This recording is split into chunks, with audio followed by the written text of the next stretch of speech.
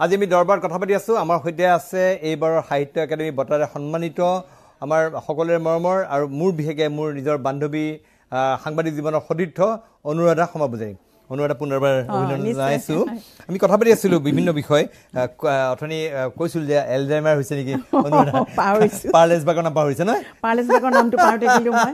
আৰু যি যি যাৰ কথা মই কিজানি দিনটোত কাৰোবাৰ কাৰোবাৰ আগত ক'লে মানে কোনোবাই যেতিয়া সোধে মই মানে সেইটোৱে প্ৰথম নাম আহে। আৰু আজি পাহৰি আছো আকৌ সেইটো নাম।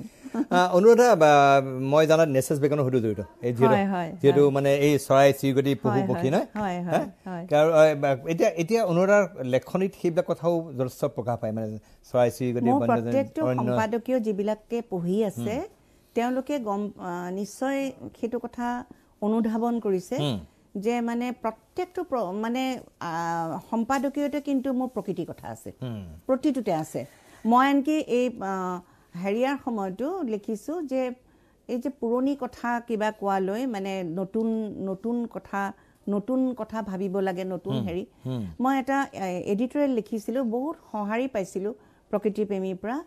মই তাত লিখিছিলোঁ বহাগ যোৱা পূজাৰ সময়তে বোধহয় আহিন মাহত যে পৃথিৱীৰ সকলো কথা পুৰণি হৈ যাওক কিন্তু প্ৰকৃতি পুৰণি নহওক।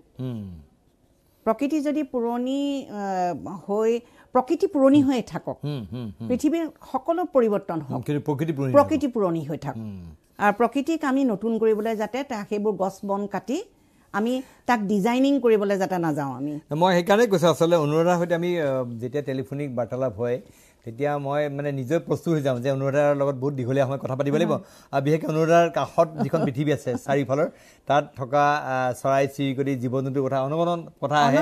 হাতীকেইটাৰ কথা ওলাই। এইবিলাক কথা অনবৰত থাকে। চমুদ্ৰীপ দত্তটো পাগল হৈ যায়। মই মানে চৰাই এটা দেখাৰ লগে লগে মই লগে লগে ফটো এটা পঠিয়াওঁ। সি যদি দেৰি কৰিছে তাক ধমকি দিওঁ মানে। ইমিডিয়েট কয় এইটো মোৰ নামটো কি? এইটো কয় এইটো চৰাইৰ নাম কি? আমাৰ ঘৰলৈ আহিছে। আলহী চৰাই মানে এইটো। মানে এনেকুৱা আৰু মানে আহি। কম আগতকে কিন্তু তথাপিতো চৰাইবিলাক আহে। আৰু আৰু অলপ বাঁহ সাজিবলৈ ব্যৱস্থা কৰি দিছিলে অ মোৰ আমাৰ যিমান মনত ঘৰত পৰে। কেইবাটাও বাঁহ আমাৰ তিনি চাৰিটামান বাঁহ আছে। ইয়াত মই লিখিছো সেই বাঁহকেইটা মানে দিনটোৰ মজুৰি দি পেলাই এটা এটা পাৰ বাঁহ বানি বনাইছিলো। আৰু মিস্ত্ৰী যিজন তেওঁ আমাৰ চিনাকি তেওঁৰ লগত যিজন সহায়কাৰী আহিছিলে তেওঁ এটা আচৰিত প্ৰশ্ন সুধিলে হেৰিয়াক আমাৰ মেইন মিস্ত্ৰীজনক। কৈছে মই আপুনি মোক যে যেতিয়া লৈ আহিছিলে মই ভাবিছিলোঁ তেওঁলোকৰ ঘৰত কিবা কাঠৰ কাম আছে। আৰু পাৰ বাঁহ সাজিবলৈ যে আজিৰ দিনত যে মোক এই পাঁচশ টকা হাজিৰা দি পেলাই আমাক এনেকৈ লগাইছে এই মানুহগৰাকী বোলে মূৰৰ গণ্ডগোল আছে নেকি বোলে? বোলে "অ, পাৰ বাঁহ সাজিবলৈ যে আমাক মাতিছে। মোৰ মূৰৰ গণ্ডগোল আছে বুলি কৈছিলে। বোলে এওঁ বোলে মূৰৰ গণ্ডগোল আছে নেকি বোলে? অনুৰাধাই লেখা মেলা কেতিয়া কৰে। সাংবাদিকতাৰ লগতো ব্যস্ত আৰু এনেই অন্য সময় একেবাৰে নাপাওঁ।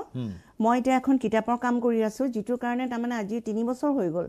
তথ্যখিনি গোটাইছোঁ কিন্তু মই লিখিবলৈ সময় নাই। এইখন যেনেকৈ ভৰি ভাগতে লিখিব পাৰিলোঁ এতিয়া মোৰ মানে এনেকুৱা এটা সময় লাগে য'ত মানে মোৰ কম্পালচৰি মোক অকণমান মানে এমাহ অন্ততঃ লাগে। যে এমাহত মই বহুতখিনি মানে আগুৱাই যাম। সেই কিতাপখনৰ কাৰণে মই যথেষ্ট পঢ়া শুনা কৰিব লগা হৈছে। সেইখন আমাৰ অসহযোগ আন্দোলনৰ সময়ত একেবাৰে স্বাধীনতাৰ আগৰ চাহ বাগিচাৰ মজদুৰ এগৰাকীৰ কথা। আচ্ছা। ইটছ এ ফেক্ট আৰু সেই সময়ৰ এটা ডাঙৰ ঘটনা। সেই ঘটনাক লৈ তাৰমানে উম, হেৰি কৰিছে। আৰু আৰু মই দেখিছোঁ যে বহু বহু সময়ত এনেকুৱা ক্ষেত্ৰভিত্তিক বিষয়বস্তু লৈ পেলাই যেতিয়া কৰে তেতিয়া যথেষ্টখিনি ক্ষেত্ৰভিত্তিক অধ্যয়নো যথেষ্ট কৰে। মেৰেং- মেৰেংখন মই সেইটো মেৰেং মেৰেঙৰ বছৰ। আঠটা বছৰ আঠ। বছৰ। আঠ বছৰ পৰিশ্ৰমৰ অন্তত মেৰেংখন লিখিছিলোঁ। মেৰেংখন লিখাৰ পিছত মই বেমাৰত পৰি গৈছিলোঁ এনেকুৱা। এইখনৰ কাৰণে মানে মই সেইফালে ঢকুৱাখানা আৰু এইফালে স্কটলেণ্ড। হুম, ইন্দিৰা মেৰিৰ গোটেই জীৱন গোটেই জীৱন। চবলৈকে গৈছোঁ। আৰু স্কটলেণ্ডলৈ গৈছোঁ। আচ্ছা। স্কটলেণ্ডলৈ গৈছোঁ। ইন্দিৰা মিৰি যিখন গাঁৱত তেওঁ হোষ্টেলত আছে হেৰিয়াত আছিলে তালৈ গৈছোঁ। এডিনবৰা ইউনিভাৰ্চিটিখনৰ পুৰণি একচল্লিছ চনৰ মেপ উলিয়াইছোঁ। তাত তেওঁলোক ইমান এক্সাইটেড হৈ গ'ল মই যেতিয়া ক'লোঁ তেতিয়া কৰোণা সাগৰ দাস আছিলে। কৰোণা সাগৰ দাসে যেতিয়া ক'লে যে এখেত আহিছে আপোনালোকৰ একচল্লিছ চনত এগৰাকী পঢ়া কাৰ্লছ বুলি মানে হোষ্টেলটো। তেতিয়া কৈছে যে অ' কাৰ্লছটোতো এতিয়া ইয়াত নাই আমাৰ এটা বেলেগ হ'ল ইউনিট। কিন্তু গোটেই হেৰিটো একেই আছে। কৈছে বোলে এখেতে কাৰ্লছত পঢ়া এগৰাকী এডুকেশ্যনিষ্ট তেওঁৰ বিষয়ে এখন নভেল লিখি আছে আৰু তেওঁ ইয়াত পঢ়া। গতিকে তাৰ ডাটা লাগে। মানুহজনে ক'লে এক মিনিট ৰ'ব বুলি মানুহজন নাইকিয়া হৈ গ'ল। নাই যি নাই এঘণ্টালৈ নাই। মই ক'লো এওঁ পলালে আৰু বুজিছে? বোলো এওঁ নকয় আৰু আমাক। কিন্তু অলপ পিছত দেখিছোঁ তেওঁ শকতাবত মানুহ ঘামি জামি আহিছে। তেওঁ একচল্লিছ চনৰ ডাটাৰ পৰা মেপ উলিয়াইছে। আৰু তেওঁ ইমান এক্সাইটেড যে আপুনি ইণ্ডিয়াৰ পৰা আহিছে ইয়ালৈ এগৰাকী মানে ষ্টুডেণ্টৰ পৰা হেৰি কৰিবলৈ মই এইখিনি কষ্ট কিয় নকৰিম? কেনেকুৱা ডেডিকেটেড মানে?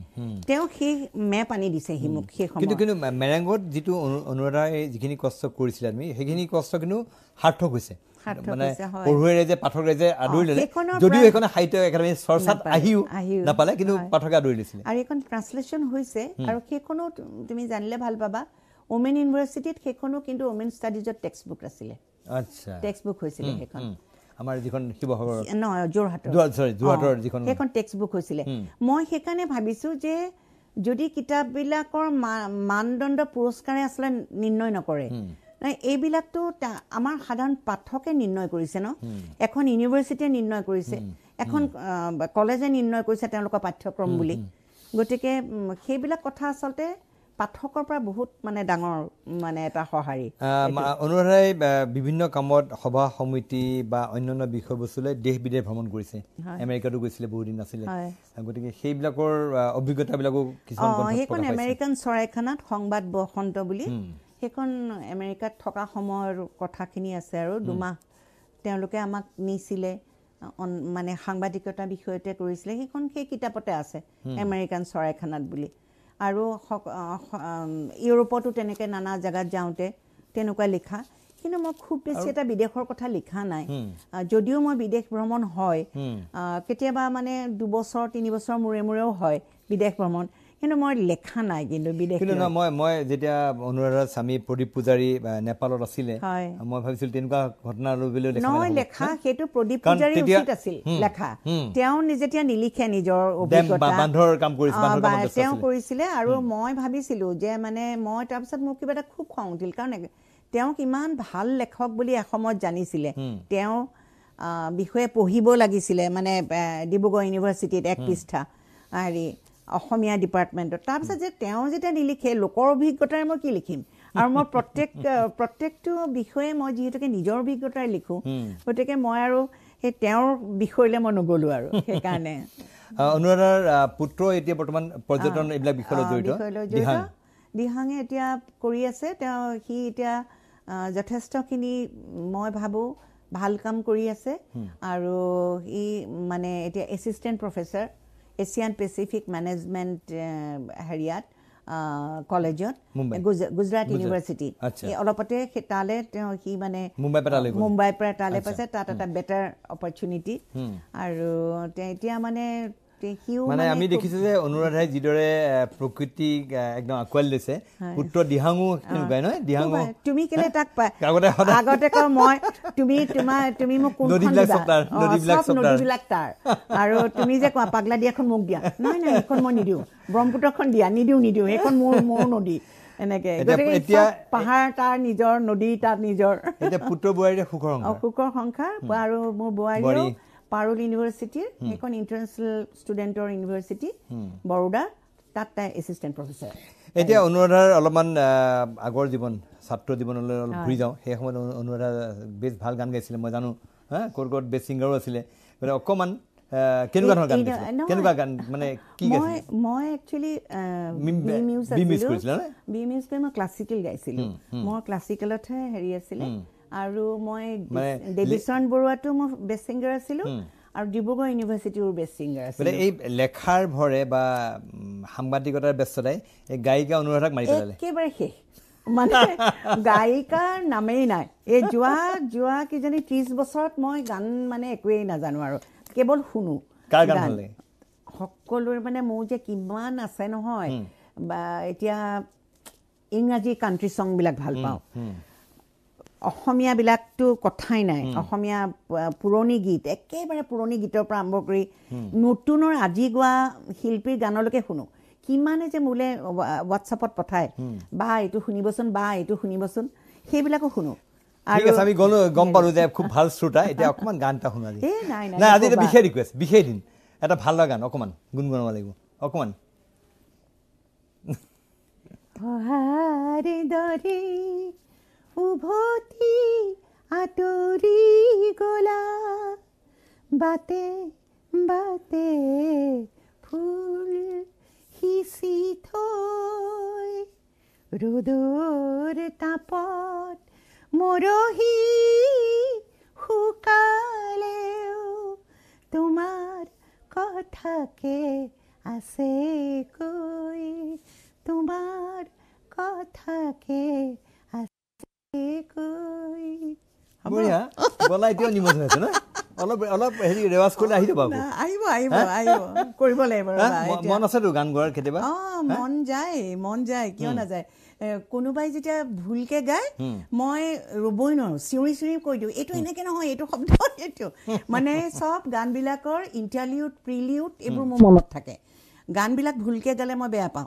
বেসুৰীয়াকে বেয়া পাওঁ। সেইকাৰণে মই নিজে গান নাগাওঁ। কাৰণ মই যদি মোৰ ৰেৱাজ নাই প্ৰেক্টিচ নাই মই যদি বেসুৰাকে গান এটা গাই শুনাওঁ গতিকে মই যিটো বেয়া পাওঁ সেইটো মই কিয় কৰিম মানে? সেইকাৰণে মই নাগাওঁ। সদায় হাঁহিমুখীয়া অনু- অনুৰাধাৰ খং কেতিয়া উঠে? এই মইতো মোৰ সদায় খং- হাঁহিতে দেখি পাওঁ দেখা পাওঁ কিন্তু খং উঠে। নাই, খঙে খং খালি এটাই যেনিবা মোৰ তুমিয়ে জানিবা চাগে মোৰ এই মুহূৰ্তত যদি খং উঠিলে মই তাৰপিছত পাঁচ মিনিটৰ পিছত মই যাক খং কৰিছিলোঁ তাক এনেকুৱা এটা কথা কৈ পেলাই মই কিবা এটা বিচাৰোঁ। ইটো পাগল হৈ যায়। কি হ'ল মানে? মই তেওঁ মনতে লৈ থাকে। এতিয়া প্ৰদীপকৈ মই কিবা ক'লে প্ৰদীপৰ কিবা এটা একদম বিৰাট মানে বেয়া লাগি পেলাই ক'লে অলপ দেৰি পিছত মই গৈ পেলাই কওঁ হেৰা তুমি অমুকটো মোক নিদিলা নহয় এইটো দিয়া এনেকৈ "ঐ, তোমাৰ লাজ আছে নাই? অকণমান দেৰি আগতে মোক এনেকৈ কৈছিলা নাই বোলে? মই মই মানে গালি যদিও দিওঁ নহয় কিবা কওঁ মই মই মনত লৈ একো নাথাকোঁ দেই। আনকি মোক আটাইতকৈ যিবিলাকে জীৱনত মই কেইবাটাও তেনেকুৱা কাহিনী আছে কেতিয়াবা যদি মই মানে আত্মজীৱনী লিখোঁ হয়তো লিখিম। নাম নিদিওঁ মই তেওঁলোকৰ।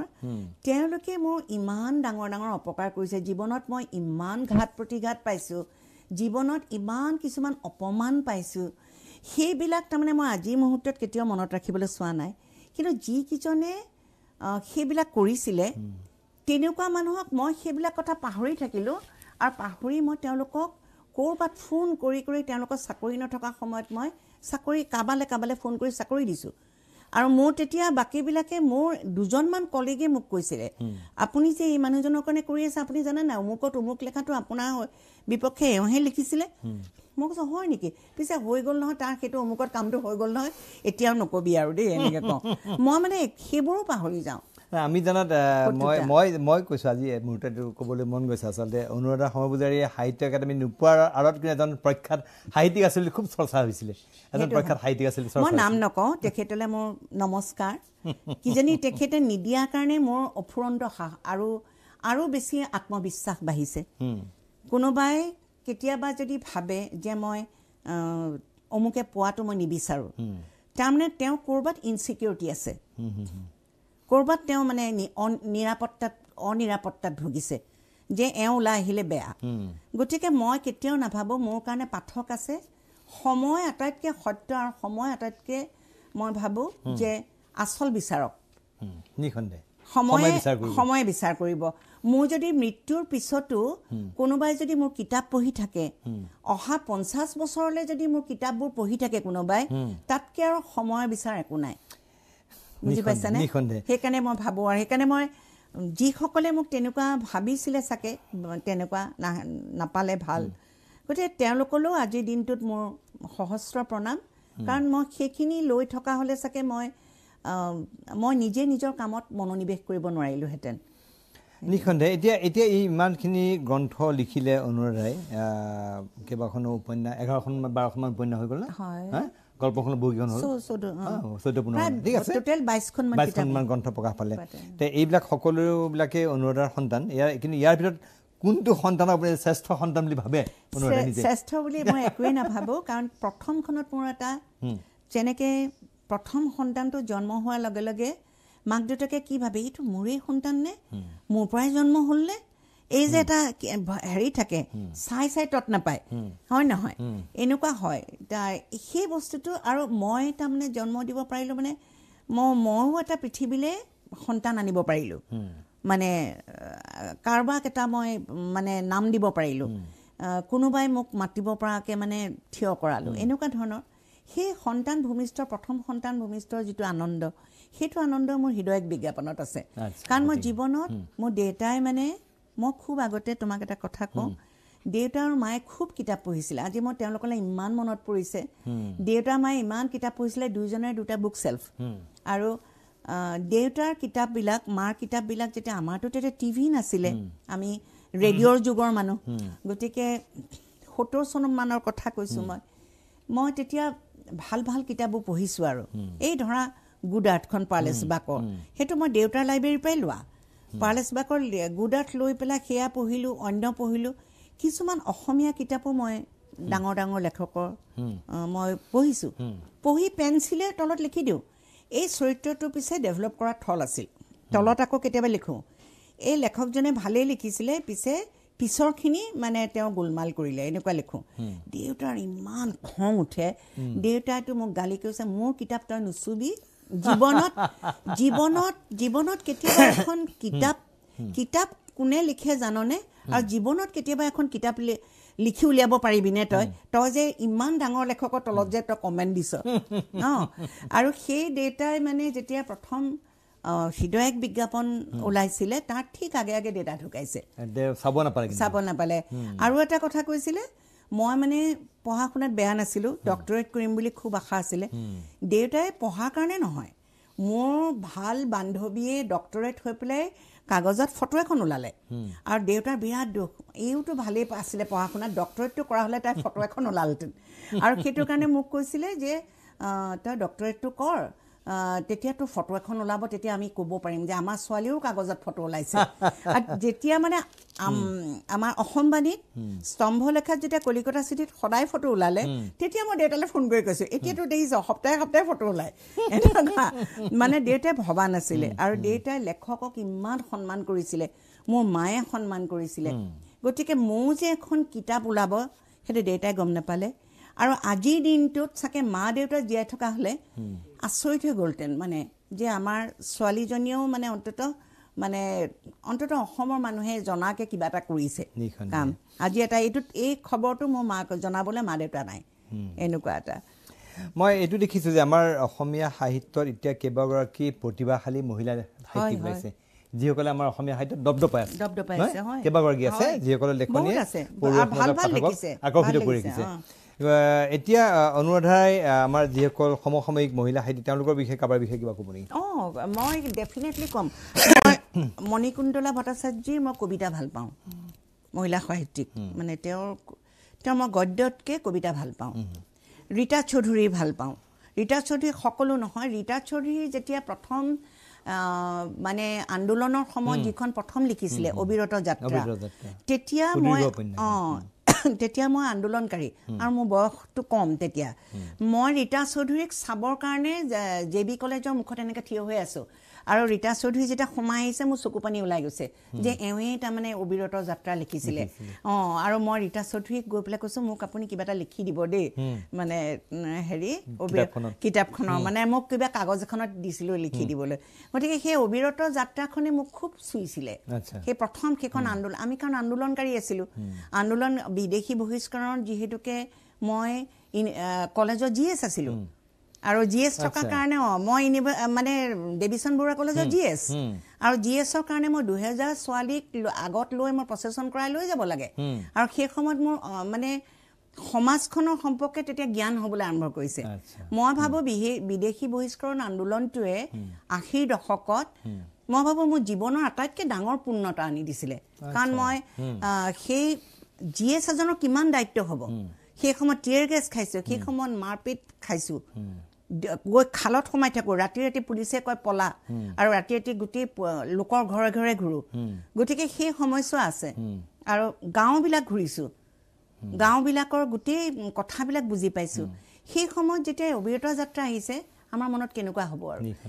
তাৰ পাছত মই তেওঁৰ আৰু এখন কিতাপ মই এতিয়াই নামটো পাহৰিছোঁ। সেই কিতাপখনো বৰ ভাল পাইছিলোঁ মই। মাক অঁ সেইখন দেওলাংখুই নহয় তাৰ আগৰ কিতাপ এখন ভাল পাইছিলোঁ। তাৰপিছতে মই আৰু আমাৰ মহিলা সাহিত্যিক আছে। মই আনকি নন্দিতা দেৱী সিদিনাখন পাইছে বঙল বহুদূৰ সেইখন খুব ভাল গ্ৰন্থ হৈছে। সেইখন হৈছে আৰু- এটা কথা মই জানিব খুজিছোঁ যে আমাৰ সময় লাহে লাহে কমি আহিছে যে আমাৰ যিসকল উঠি অহা প্ৰজন্ম আমি দেখিবলৈ পাইছোঁ যে ভালে সংখ্যক লেখক লেখিকা ওলাইছে যিসকলে অসমীয়া সাহিত্যত চহকী কৰিছে। ক্ষেত্ৰভিত্তিক অধ্যয়ন কৰি। সুন্দৰ সুন্দৰ বেলেগ। বেলেগ ভিন্ন ভিন্ন বিষয়বস্তু। সেইদিনাখন দেখিবলৈ পালোঁ বৰজা ফুলেশ্বৰীক লৈ এখন কিতাপ প্ৰকাশ পাইছে। নতুনকৈ লিখিছে এগৰাকী নতুন লিখিকা শিৱানী শৰ্মা। তাৰপিছত আন এখন দেখিলোঁ যে আমাৰ মহাভাৰতৰ আমাৰ ঐতিহাসিক চৰিত্ৰ তেওঁলোকক অন্য দৃষ্টিৰে শকুনি মামা শকুনি মামা অন্য দৃষ্টিৰে তেওঁলোকে অ, অৱলোকন তেওঁ কৰিছে বোধহয় পাইছো তেওঁ কি অৰ্জুন বুলি এজনে অ, ধ্ৰুৱ অৰ্জুনা, অৰ্জুন ধ্ৰুৱজ্যোতি অৰ্জুনা। অ তেওঁ তেওঁ এ- কিতাপখন এনেকুৱা পঢ়িবলৈ লেখি- মন আছে অ, এখন- কিন্তু এটা কথা প্ৰণয় মানে ডাঙৰ কথা কি ইতিহাস ভিত্তিক লেখা লিখিব পাৰে কিন্তু তাত দৃষ্টিভংগী নিজৰ দিবই লাগিব। নহ'লে সাহিত্য নহ'ব। বুজি পাইছেনে? নহ'লে সাহিত্য নহ'ব। আৰু তাতকৈও ডাঙৰ কথা আমাৰ অসমীয়া সাহিত্যত আটাইতকৈ অসু মানে দুখীয়া হৈ গৈছে বাস্তৱ সাহিত্যত। তোমাৰ আজিৰ সময়টোক ধৰি ৰখা। আজিৰ কি প্ৰব্লেম আজি ড্ৰাগছক লৈ ধৰা এখন হেৰি নহয়নে? তেনেকুৱা। কিতাপ। বোধহয় মনালিচা এখন লিখিছে। তেনেকুৱা। গতিকে আজি বাস্তৱ ক্ষেত্ৰ লৈ পেলাই কিন্তু উপন্যাসৰ অতি প্ৰয়োজন আছে। মই যদি নতুনসকলক সেইটোৱে ক'ম যে তেওঁলোকৰ সময় আৰু আজিৰ পৰা বিছ বছৰ আগৰ সময় বেলেগ। আজিৰ গাঁওখনৰ কথা ক'বলৈ গ'লে কাষত কলহ লোৱা মানুহৰ কথা লিখিলে নহ'ব। তাত পূৰা বাইক চলাই যোৱা ছোৱালীৰ কথা লিখিব লাগিব। হয়নে?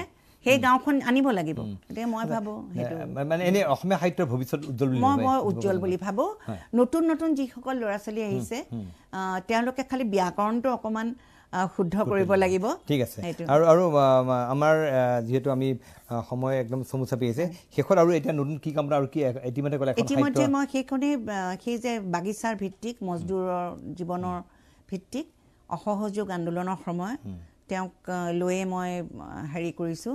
মই কৈও দিব পাৰোঁ সেইখন মানে এগৰাকী স্বাধীনতা যুঁজাৰু। তেওঁৰ শ্বহীদ বুলি যদিও তেওঁক মানে ডিক্লেয়াৰ কৰা হৈছে কিন্তু ভালকৈ তেওঁৰ হেৰি হোৱা নাই। গতিকে সেইটো সেইটোৱে আৰু সাংবাদিক অনুৰাধা সমবুজাৰী আৰু অকণমান একদম চমুকে জানিব সাংবাদিক মানে মোক সাংবাদিকতাই আচলতে সমাজখন মানুহক লৈ ওচৰ চপাই দিছে। মই যদি আজি এইখনত সাংবাদিকৰ ভূমিকা লৈছোঁ কিতাপখনত আৰু সেই সাংবাদিকৰ ভূমিকাৰে মই যদি সেই অনুসন্ধিষ্টৰ মনটো নাথাকিলহেঁতেন মই সাংবাদিকৰ দৃষ্টিৰে চাইহে মই কিতাপখন লিখিছোঁ। আৰু দুই নম্বৰ কথা সাংবাদিক সম্পাদক হোৱাৰ কাৰণে এটা হৈছে এডিটিংটো মই নিজে কৰোঁ। মই নিজে শকতাৱত মানুহ কিন্তু মই ফেটলেছ কৰোঁ। মই নিজৰ কিতাপ দহ বাৰ এডিট কৰোঁ। কাৰণ মই এইটো ডাঙৰ কথা। মই নিজৰ কোনেও এডিট কৰিবলৈ নাথাকে। মই কাটি কুটি তাক মানে একেবাৰে ফেটলেছ কৰি পেলাওঁ। যাতে পঢ়ুৱৈ যাতে। সেইটো কিন্তু সম্পাদক হোৱাৰ হেৰি বা সাংবাদিক হোৱাৰ সাংবাদিকটো প্ৰথমতে আমি এডিটিঙে শিকিছোঁ।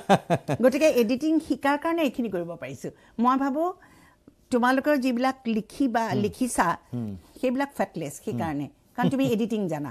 সাংবাদিকৰ এইটো বৰ ডাঙৰ মানে সুবিধা। এটা থাকে আৰু শেষত আজি বা সাহিত্য একা- একাডেমী বঁটাৰে সন্মানিত হ'ল আৰু অসমৰ পঢ়ুৱৈক আৰু কিবা ক'ব অনুৰাধে? অঁ পঢ়ুৱৈক মই এটাই কথা যে মোৰ মই যেতিয়া কিতাপ এখন উলিয়াই দিওঁ সেইখন মোৰ হৈ নাথাকে। সেইখন পঢ়ুৱৈ কিতাপ হয়। পঢ়ুৱৈ যদি বেয়া পায় বেয়া মই সেয়াও গ্ৰহণ কৰোঁ। আগতে দুখ লাগিছিলে এতিয়া নালাগে। সেয়াও গ্ৰহণ কৰোঁ ভাল পালেও গ্ৰহণ কৰোঁ। গতিকে পঢ়ুৱৈ মোৰ প্ৰেৰণা। পঢ়ুৱৈয়ে মোক সঁচা মিছা খবৰবোৰ দিয়ে। তেওঁলোকে যেতিয়া মোক কোনো উদ্দেশ্যহীনভাৱে স্বাৰ্থহীনভাৱে যেতিয়া মোক এখন কিতাপৰ কথা কয় সেই কিতাপৰ কথা কওঁতে মোৰ খুব এটা সাংঘাতিক অনুপ্ৰেৰণা হয়। সেইকাৰণে মই পঢ়ুৱৈলৈ মোৰ শতকোটি নমস্কাৰ। সমালোচনা কিদৰে লয় অনুৰাধে সমালোচনা আগতে দুখ লাগিছিলে এতিয়া নালাগে। এতিয়া সমালোচনা এতিয়া সমালোচনাত মোৰ অকণো বেয়া নালাগে। যদি বেয়া হৈছে মই চাগে ভাবোঁ যে এওঁ চাগে দৃষ্টিভংগীৰে এইটো বেয়া হৈছে এনেকুৱা। ঠিক আছে আমি সামৰিব লাগিব। ইয়াত এখন অৰণ্য আছিল। এইখন গ্ৰন্থৰে অনুৰাধাই আমাৰ দীৰ্ঘকালৰ বান্ধৱী সাংবাদিক জীৱনৰ সতীৰ্থ অনুৰাধাই সাহিত্য একাডেমী আজৰি আনিলে। আমি পাইছে। পলম কৰিবলৈ পাইছে কিন্তু সেইটো আমাৰ আক্ষেপ আছিলে আচলতে কিয় পোৱা নাই? আৰু তোমালোকে জানাৰ লাগে। কাৰণে সকলো মোৰ জাৰ্ণিটোও জানা মোৰ কষ্ট জানা মোৰ অধ্যৱসায়ৰ কথা জানা সেইকাৰণে বেয়া পাইছা বেয়া পাইছিলা। কিন্তু মোৰ আজি আটাইতকৈ আনন্দৰ বিষয় মোৰ মোৰ একালৰ সতীৰ্থ প্ৰণয় বৰদলৈ ইমান প্ৰকৃতি প্ৰেমী এজন মানুহ। আৰু প্ৰণয় আজি আহিছে আজি এটা আমি দুজনেই আচলতে এই সময়খিনি আনন্দৰে ভাগ বতৰা কৰিছোঁ। গতিকে প্ৰণয় অহাৰ কাৰণে মই ইমান সুখী। এতিয়ালৈকে এনেকৈ এক ঘণ্টাৰ লাইভ এনেকে কেতিয়াও কাকো কোনো কাকো সময়ো দিয়া নাছিলো তুমিয়ে আহিছা। আৰু তুমি দৌৰি অহাৰ কাৰণটোও জানো যে তুমি তুমি যে কিয় দৌৰি আহিছা সেইটো সেইটো মই বুজি পাইছো এতিয়া। ঠিক আছে আমি অনুৰাধালৈ অনুৰাধালৈ পুনৰবাৰ শুভেচ্ছা থাকিল আৰু। আশা ৰাখিছোঁ আৰু কলমেদি আৰু এনেকুৱা শক্তিশালী। লেখা ওলাই যাব। বহুত ধন্যবাদ, বহুত ধন্যবাদ, আমাৰ ধন্যবাদ। বিশেষ অনুষ্ঠান দৰবাৰ মজিয়াৰ পৰা মোৰ সতীৰ্থ প্ৰণৱ আৰু দিদমৰ সৈতে বিদায় দিছোঁ। সঞ্জয় আৰু দিদমৰ সৈতে বিদায় দিছোঁ। ধন্যবাদ।